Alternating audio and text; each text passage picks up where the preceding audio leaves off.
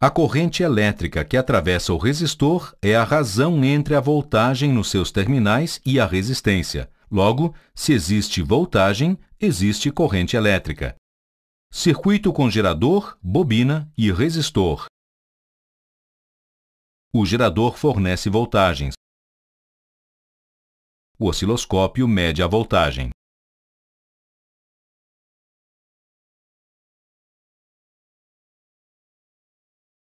Frequência de 1 kHz.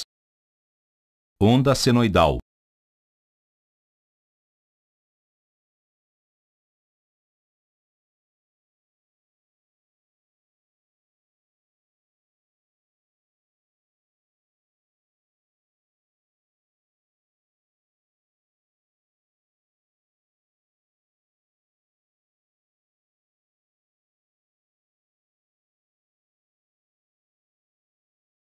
Canal 1 do osciloscópio.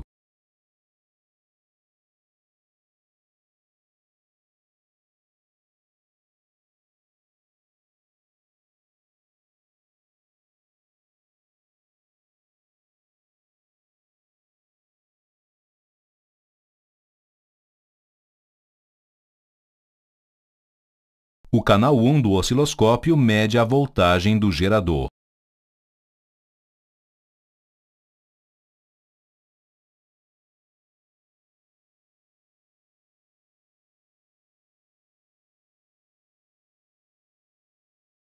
Resistor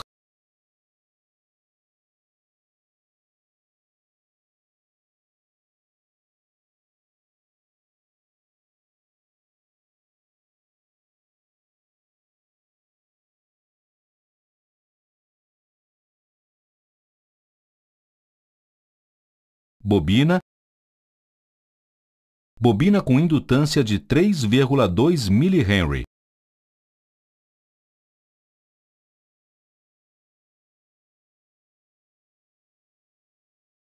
circuito com gerador, bobina e resistor.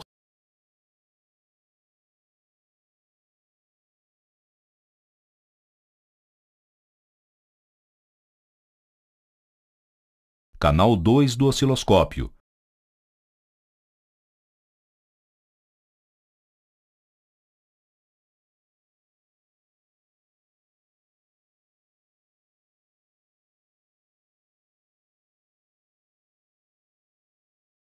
O canal 2 do osciloscópio mede a voltagem no resistor.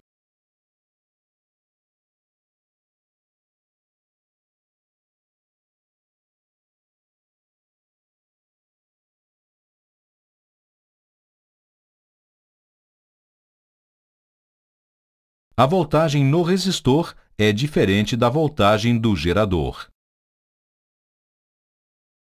As voltagens do gerador e no resistor estão fora de fase no circuito RL.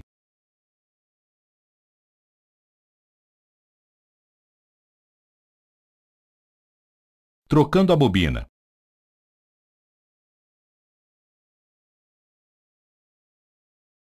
Bobina com indutância de 11,4 mH.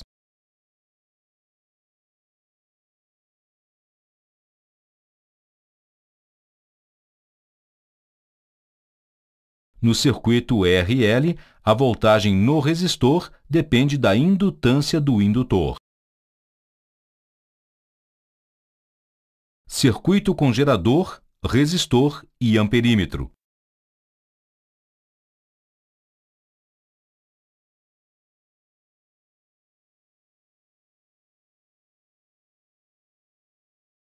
Resistor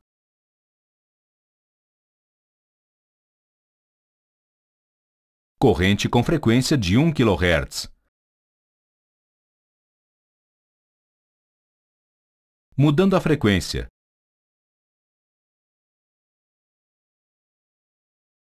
Frequência de 2 kHz.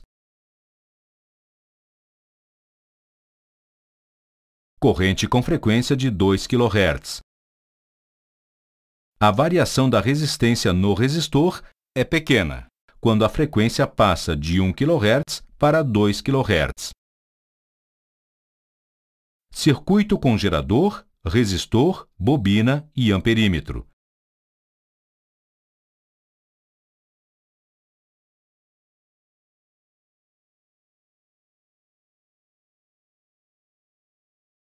Bobina com indutância de 11,4 mH. Corrente com frequência de 2 kHz.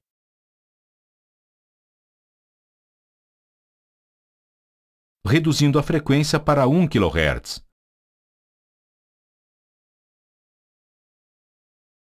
Corrente com frequência de 1 kHz. A variação da corrente elétrica é significativa. Como a variação de resistência no resistor nesta faixa de frequência é desprezível, concluímos que a variação da corrente está associada à bobina. Logo, a resistência que a bobina oferece à passagem de corrente depende e aumenta com a frequência do gerador.